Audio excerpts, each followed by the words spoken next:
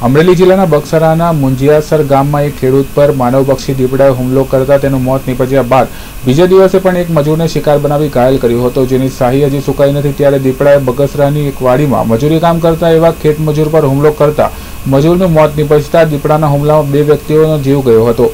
સતત ત્રીજા દિવસે માનવભક્ષી દીપડાએ મચાવેલા આતંકમાં રાજસ્થાની ખેત મજૂરનું મોત નીપજતા સમગ્ર પંથકમાં આયોજાડી અભિજવા પામી હતી. જોકે આ ઘટનાના પગલે ધારાસભ્ય સહિતના અગ્રણીઓ ઘટના સ્થળે દોડી આવ્યા હતા અને વન વિભાગને વહેલી તકે માનવ બક્ષી દીપડા પાંજરે પુરાય તે માટેની કાર્યવાહી કરવાની અપીલ કરી હતી. તાલુકાનો ખેડૂત આગેવાન તરીકે હું એક વાત કરવા માગું છું કે આજે બગસરા તાલુકા આજુબાજુના વિસ્તારમાં સત્તર અઢાર યુવાનોના માણસોના ખેડૂત આગેવાનોના મોત કરેલા છે. અને છતાંય વનતંત્રને વારંવાર જાણ કરતાં વનતંત્ર કાંઈ પણ કામગીરીમાં એની પોતાની નિષ் નિષ્ક્રિયતા દાખવે છે સતત વારંવાર. અને ઉપરાંત દીપડાને પાંજરે પૂરાય ત્યારે લોકો એમને ભેગા રજૂઆત કરે તો ઉપરાંત ખેડૂતો ઉપર લાઠીચાર્જ કરે છે. અને વારંવાર રજૂઆત કરીએ છીએ. ગઈકાલે અને એના આગલા દિવસે મોટા મુંજેસર ગામે જ્યારે બનાવ બન્યો ત્યારે તેમને સાંજે જાણ કરવામાં આવી હતી કે અત્યારે દીપડું અમારા આસપાસના વિસ્તારમાં આટા મારે છે. છતાં પાંજરો મૂકી અને કોઈ કાર્યવાહી કર્યા વગર પાંજરો મૂકીને જતા રહ્યા અને તે જ દિવસે રાત્રે ત્રણ વાગે ખેડૂત ઉપર હુમલો કરી અને મારી નાખેલ સ્થિતિમાં સવારમાં હાલત જોવા મળેલ છે. મારું નામ કોકિલાબેન છે કાકડિયા ગુજરાત પ્રદેશ કોંગ્રેસ કમિટી.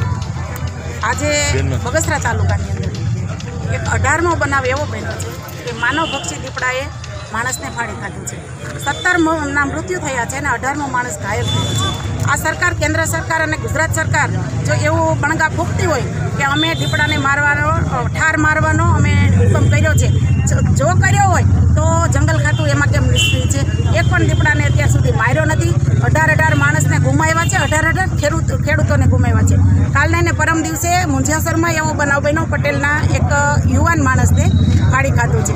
ત્યારે એ લાશ પણ સંભાળવામાં આવી નથી અને હજી પણ ખેડૂતની માગણી એવી છે કે પચીસ લાખ રૂપિયા આ ખેતમજૂરને અને ખેડૂતને આપે તો અમે લાશ સંભાળી. પણ હું તો એમ કહું છું કે વિધાનસભામાં જ્યારે જરૂર હોય છે ત્યારે ધારાસભ્યો ખરીદવાના કરોડો રૂપિયા આપવામાં આવે છે. તો એ જો ધારાસભ્યોની કરોડોની કિંમત હોય, તો ખેડૂત પણ ધારાસભ્ય દરજ્જાનો જ માણસ છે અને એને પણ કરોડ રૂપિયા આપવામાં આવે. પચીસ લાખ રૂપિયાથી પાંચ માણસનું ગુજરાન નથી ચાલતું. કરોડો રૂપિયા હોય ત્યારે એમની જિંદગી પૂરી થાય છે આ મોંઘવારીની અંદર.